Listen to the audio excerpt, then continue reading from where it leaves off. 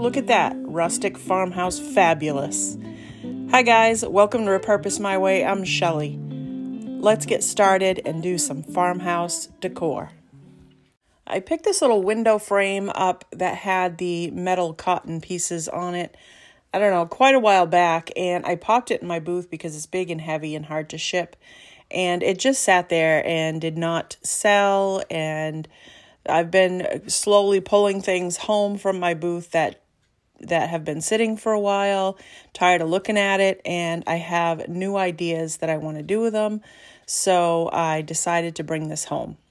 So I took off the metal button decor and I cut a piece of drop cloth the same size as my window, well, a little bit bigger than my window, uh, so that I could staple it on.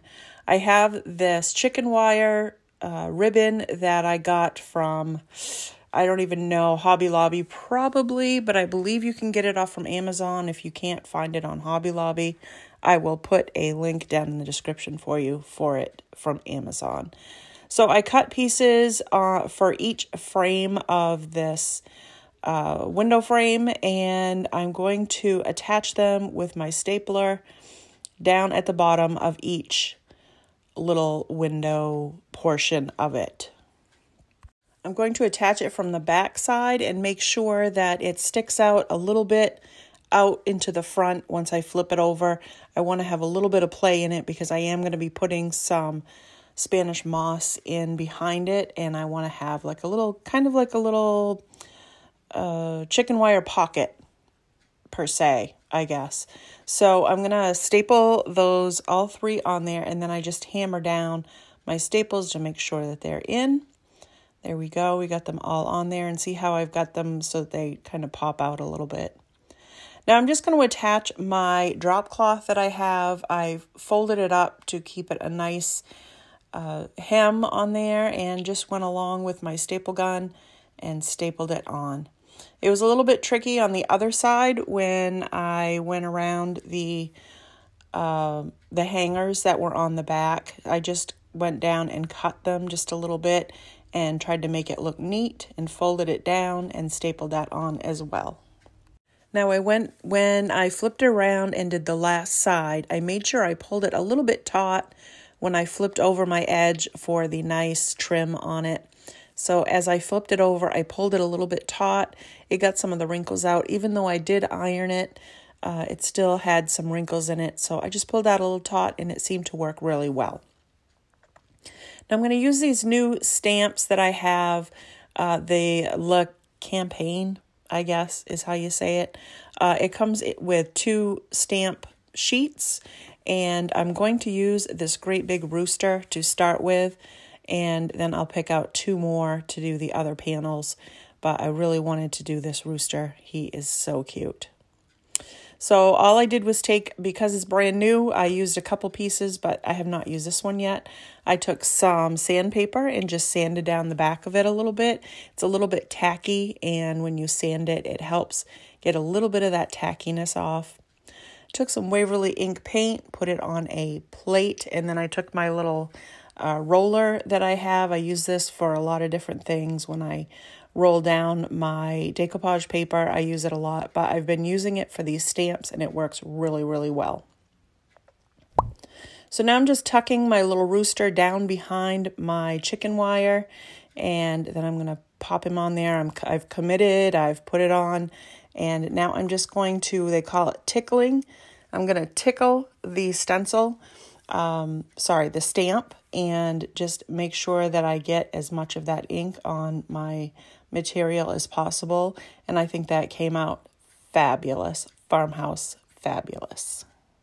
Now, this next one, I picked out a bouquet of flowers, and that one is going to go on the bottom panel. Did the same thing, added my uh, black ink paint, and then I am just pushing it onto my material and that came out really nice. I really love how this is coming out. So then the next thing I did was pick out another one for the top panel. Now this one is a two-part stencil. So I keep saying stencil, stamp. Sorry guys. Um, and so I just used two different ones and popped them on there and made them look like they were supposed to be together. Now I had these two holes here from where the bolts went through for the cotton. So I decided I was going, I wasn't going to do anything. And then I decided I would fill in those little holes with some of this wood filler and it will turn uh, like an off-white color. And then later on, I don't show it, but I took some antique wax and just put my put it my finger some on my finger and I colored in those uh, lighter colors so that they would blend in with the with the frame. So now here I am taking the uh, Spanish moss and I'm tucking it in behind the chicken wire. And then I have some of these little uh, lavender pieces and some greenery, and I'm going to tuck those in behind the uh, chicken wire and in front of the stamp. I don't show it, but I also go around each individual panel with some twine. I go around two or three times, and then I added a rusty star to finish it off.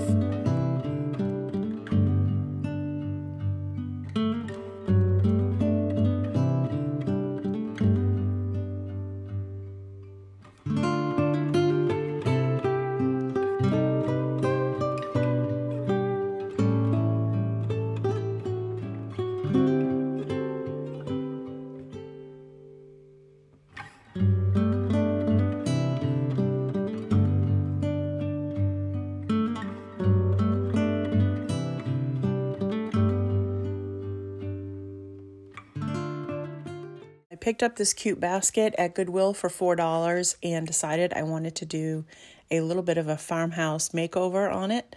So I taped off the top rim of the basket. I'm going to do something different with that and I don't want to get any of my antique stain on there. So I went over the whole bottom part of the basket with my antiquing wax from Waverly, just the straight right out of the bottle and I went over the whole thing and then wiped it back with a rag.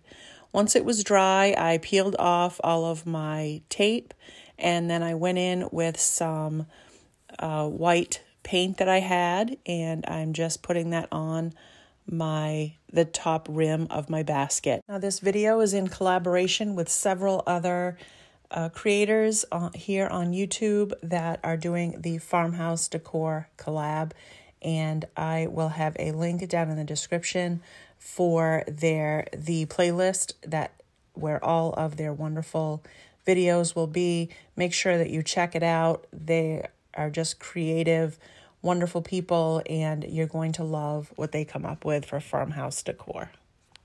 So now I'm just gluing in a liner on the inside of my basket. I have all the material on the outside and I glue a little bit of glue underneath each uh, underneath the rim all the way around and then glue that on and then I tuck it in to the basket. It makes a nice liner. Then I took my basket, the bottom of it, and I traced around it on a paper plate to make a bottom to finish off the inside. So I just cut out a circle and then made sure it fit. And then I took more of my drop cloth and glued that onto my little cardboard circle and then that fits right into the bottom and it works out really, really well. Now, once the rim of my basket was all dry, I went back with some sandpaper and sanded that down to give it a distressed look. I also went over the stained part in the middle of the basket and just distressed that up a little bit. Now I'm going to take some antique wax that was on my brush from doing the basket and I am putting it on and wiping it back making it look a little bit aged and distressed, like it's been around a while, and not a brand new paint job. I wanted to put a little piece of fabric on the front with a stamp on it, so I cut out a rectangular piece that would fit on the front of my basket, and then I frayed it and ripped off the edges here and there just to make it look like it's been around a while and not just a straight piece of material. I'm going to take this cute stamp from the La Campagne IOD stamps and I'm going to put that right on the front. This is a cute chicken with a little chick on the on her back. And then there's some little a couple little chicks that hang out off to the side of each uh, each side of her. So I popped those on there, same way, just added the black paint and then put it on. And then I'm going to glue that to the front of my basket. Then once I was done with that, I got out my my coffee tea stain and I used a rag and just went around it so that it wasn't so bright white and made it look a little bit aged.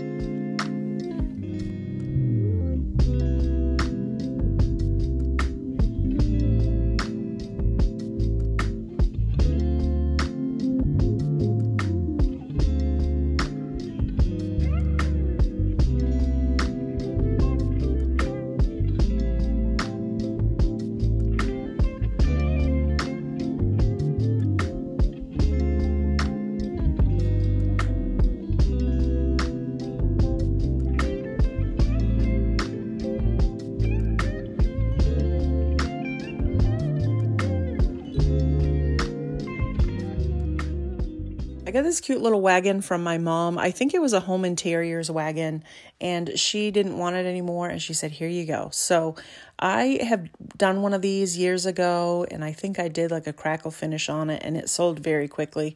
But I wanted to do kind of a farmhouse decor on this one, something a little different. So I taped off the wood part so that I could uh, paint the wheels and the underneath the uh, just a black color Waverly ink uh, black and I went all over the bottom and all around the wheels the best that I could to turn them all black. Then I took the tape off and I'm going to do a mold, a half a mold of this sunflower IOD mold and I'm going to use cornstarch or I did already as you can see here I've already done it and the DAS uh, clay. And so I did a half a one because only half will fit on this wagon. And then I just took my razor blade and I straightened out the bottom a little bit so that it was a nice straight uh, piece to go on the front of my wagon. Now I used some E6000 on the back and I spread that all out, all out on all the petals and everything so that it would stick really well. And then I got it placed onto my wagon. And then I decided I wanted a couple little leaves on either side. So I got the uh, sunflower mold out again, uh, threw some cornstarch in there, and then added my DAS clay so that I could get a couple of cute little leaves to put on either side of my sunflower.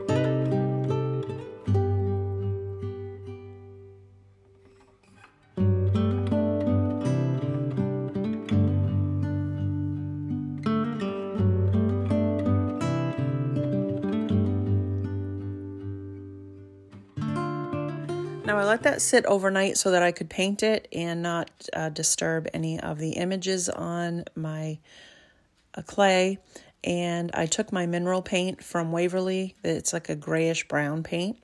And I'm going to go over the whole little wagon, the front, sides, back, inside, and everything. I did two coats on that.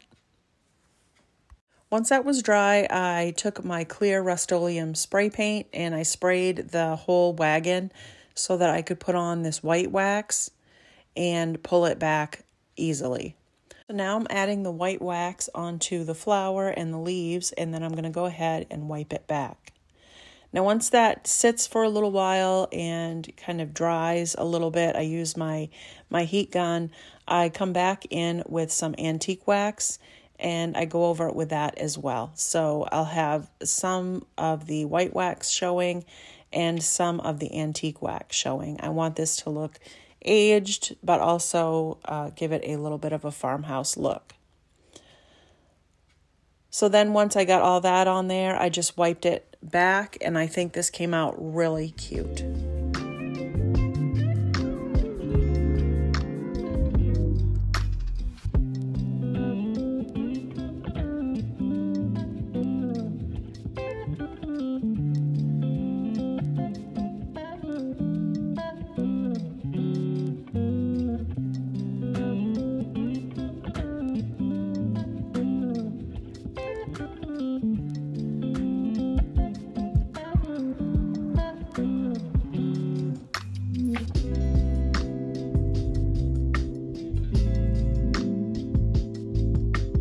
Hope you liked my farmhouse decor.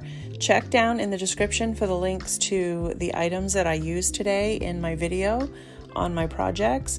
And also, don't forget to check out that playlist of all the other awesome creators who have done some farmhouse decor. Thanks for watching.